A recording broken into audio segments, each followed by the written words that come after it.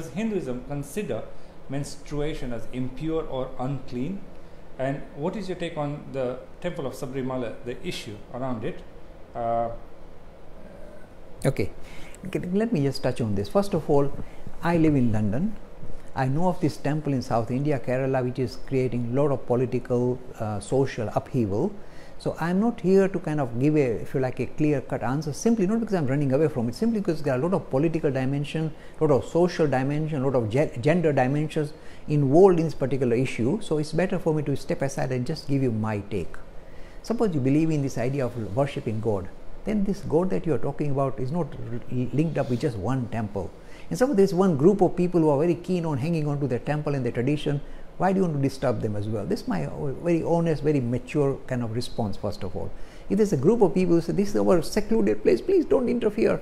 And uh, the women have got a lot of other places to go to anyway, so why are you making a big fuss about it? So, are you saying it like, for example, if there's a members club? it's like a members you're club. You're not a member, you're not allowed. This is the similar sort of a concept. This is the problem. The thing is, I don't want to step into this di- uh, argument simply because I, I, see a lot of different dimensions here interacting. There's a stro- strong political dimension. Mm-hmm. If the politician are trying to, in a way, you know, wedge in and say we control the temple body, and this, of course, cre- upsetting the temple body. People saying, "How dare you? This is our private property, and we want to play ball. You know, play, play. we have got our own rules. Like if you go to certain temples, they say, you know, take your shoes off. Of course, this is the rule the temple will impose.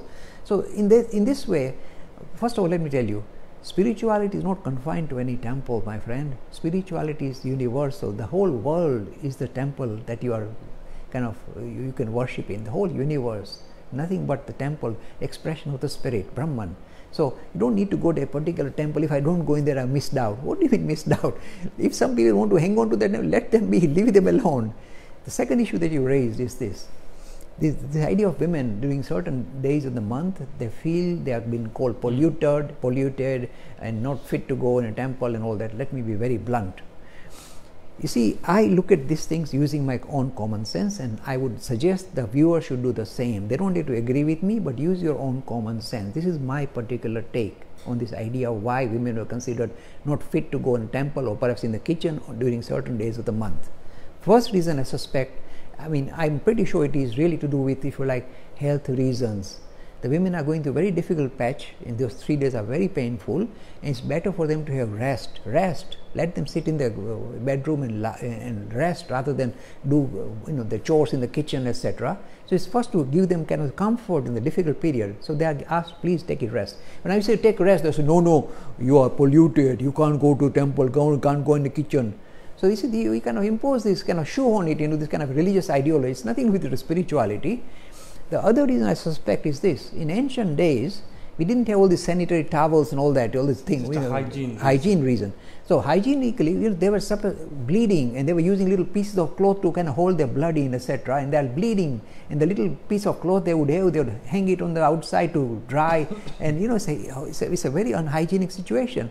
So rather than allow this kind of dripping, you know, women dripping blood going into temples or kitchen, etc., it's best to tell them to stay uh, away.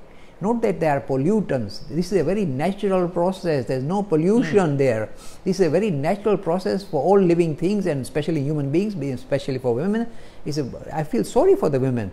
But it's nothing to do with spirituality or being under spiritual no. or you're being polluted. And in fact, I, make, I was making fun. I say, You call your God your real mother and father? All the women say, Yes. I say, when you got period, do you, can't you go and hug your daddy you're going to pollute him? This your God is your real father, so why should you not say, oh, I can't go in the temple? I say, don't make a fuss about it. Suppose the temple authority says, no, you should not go. Don't make a fuss about it. You got all this sanitary equipment, just happily go. You can even swim nowadays, so don't worry. You are not a pollutant and you cannot pollute God. If you can pollute God, we will build temples in your name and tinkle bells in front of you because you are bigger than God.